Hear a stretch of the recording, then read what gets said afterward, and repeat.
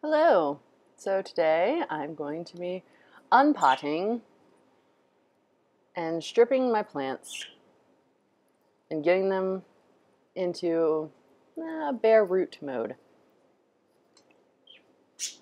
Here this plant was being uh, quite difficult to get out.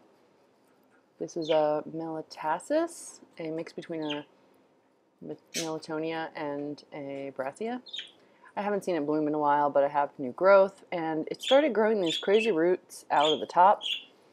And uh, I don't know, it's just not doing that great, or as well as I thought it would in the semi-hydro.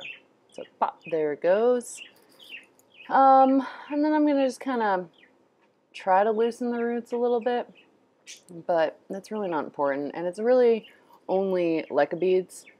Oh yeah, and then there's some this bulb here is really useless, so just kind of separating that out. It could actually be a separate plant altogether. Like sometimes when I get these Trader Joe plants, there are two plants in one to make them look bigger. That's probably what that was. So now I'm just gonna leave it the way it is. It's just like the beads. Nothing. Oh, jeez, birds. and put it in there. I'm trying to do a voiceover. Okay, so there we go. I'm just gonna put it in a pot, put some water in it, done. Then this little part here, I don't know, it's got this funky growth growing. Yeah, check it out. Right here. There's like a baby plant growing inside or on top of the bulb. Uh, so I'm just going to kind of experiment with this and uh, see what happens. But it's like really a little tiny plant growing there. It's so weird. I've never seen that before. And healthy roots, so we'll see. What am I doing here? Oh, so I'm just kind of separating off this other bulb a little bit more. I figured uh, it's kind of, these plants tend to grow big when they have lots of different growths and you can take off bulbs that are old and not, oh there's a dog, there's Tiny Indy. uh, yeah, so I just cut off an extra bulb and then I have that bulb, but I don't know what to do with it. I think I'm just going to leave it. It's not taking up that much room. And then just putting it in a decorative pot, no holes, keeping the leca beads on, put some water in there, call it a day. Bare root. It's kind of like a mounted orchid, but not mounted. It's just a bare root orchid. And leca beads, just throw them there. It's not a big deal.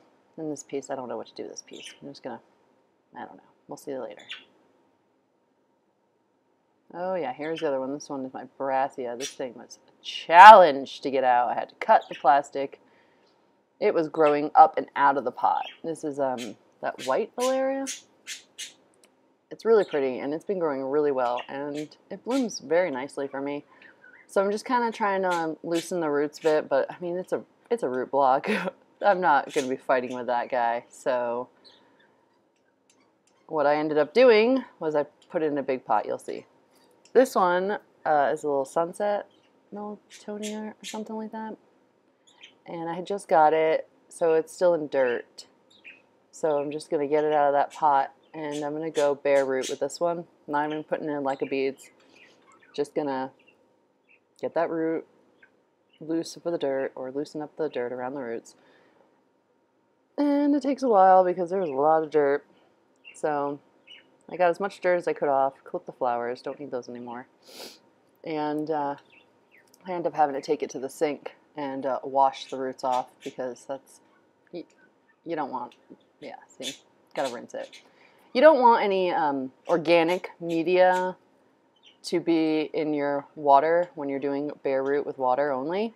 If you have organic media on the roots it will cause more rot. So here we are just kind of drying it off because I really got the whole plant wet. It's good to wash your leaves they get dusty and now I have beautiful, clean, I'd say 99% clean of dirt, nice roots. Those guys are ready to just go in a pot. What pot? What pot am I going to put it in? These decorative pots are great because the light doesn't get in, so you don't have algae problems. Boom, done. See that? And there's the inside. That's how I'm doing it. Just keeping it bare root, sitting it on top of leca beads so that it doesn't sink too far in the pot. Here's what I did with the Brassia. Uh, I can fill the water as high as I want it, keep it as low as I want it, and I'm just letting it sit in there so it can grow its roots out and around. It can try to grow out of the pot if it wants. This thing is a wild beast. This plant is big, and it has a mind of its own. Here's the Miltassia. Uh, keeping the leca beads in there because, you know, it's inorganic media, so it's not a big deal. It gives the roots something to hold on to. I mean, it's pretty much semi-hydro, but in a weird way, just kind of keeping the reservoir. I don't know, just trying something new. So there we go. And that, I don't know what I'm going to do with that. I think I'm just going to leave it in water, see what happens. If anybody wants it, you can have it. Uh, that weird little tiny plant. Thanks for watching, and this is just the start of me going bare root.